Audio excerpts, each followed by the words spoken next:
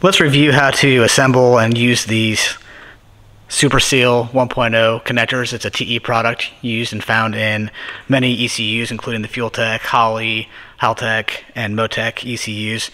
Uh, super user-friendly type of a connector, and knowing how to use these uh, is going to be a key skill to have. These come in two main sizes. There's a 34 pin and a 26 pin.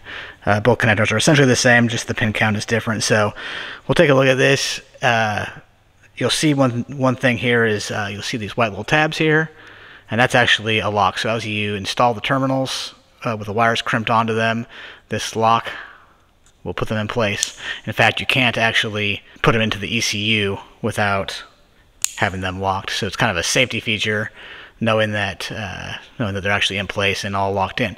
Another thing you'll notice is these are keyed. So there's multiple. For example, on the Holley EFI, you'll see many connectors there. So there's essentially two 34 pin, and then there are four 26 pin. Now, even with this closed, so it can go in. For example, this one will latch into here, but it will not latch into this one. The reason being is that each connector is keyed. So you've got two slots there on this one and one slot on the bottom. Now, not everyone is like that. The other one is keyed to have two on top and two on bottom. So there's multiple keying options to keep you from installing the connector into the wrong uh, receptacle on the ECU. So keep that in mind and make sure that when you're wiring something up that you start with the correct connector. Here's an example of a Fueltech.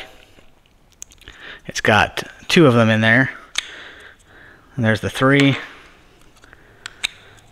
And then there's four on this one.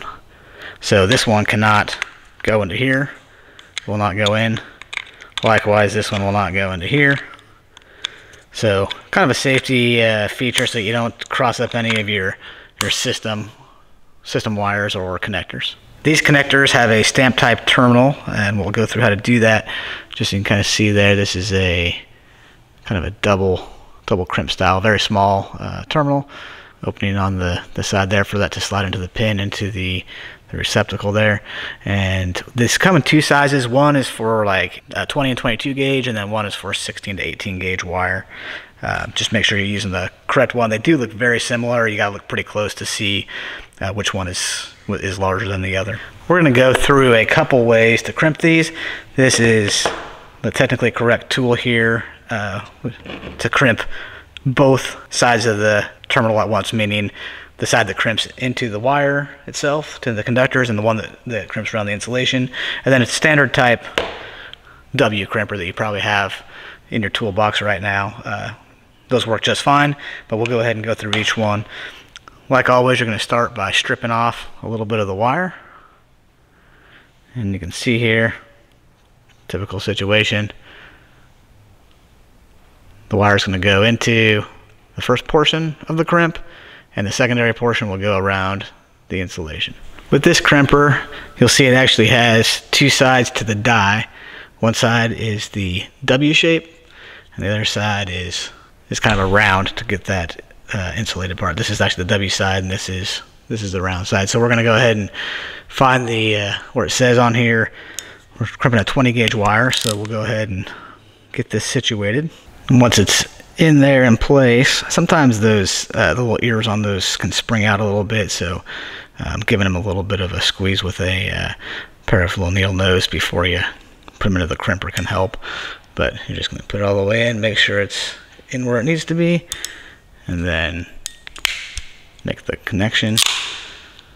And you can see it's kind of interesting how these ones work is that those two ears back here actually fold next to each other. One's in front of the other, and the crimp there looks pretty good. So that's the one method, and we'll go ahead and show the other. Okay, we'll go ahead and use the second method here. We'll do two separate crimps. Go ahead and get these fit into the, the crimper itself. And we'll go ahead and slide this in. This method works works pretty good. So go ahead and get that crimp down. Okay, well we got that. Soon as it the tug test, then we'll go ahead and do the same thing on the back side. Go ahead and crimp the insulation. Kind of a strain relief is what that is. And there we go. I would say that this is The, the other crimper gets a little bit better finish and whatnot, but that'll get the job done. Okay, uh, installing the wire into the connector is pretty simple. You're going to make sure that this is clipped up. So if you can see those, those are the up position. And again, it won't go into the ECU uh, receptacle with those up, which is a good thing. And that is actually a lock. So the wire will not go in with these up, with this down. It has to be up. And then of course, to go into the ECU, it has to be pushed back down to lock them in. So you can install it in whichever hole you plan and then push it all the way in.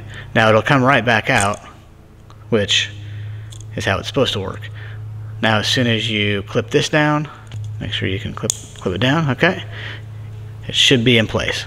Alright, there you go. Now you can put this into your ECU.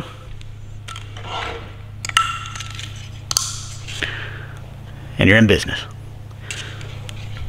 If you found this video helpful, uh, check out some of our other videos and uh, let us know what you think in the comments.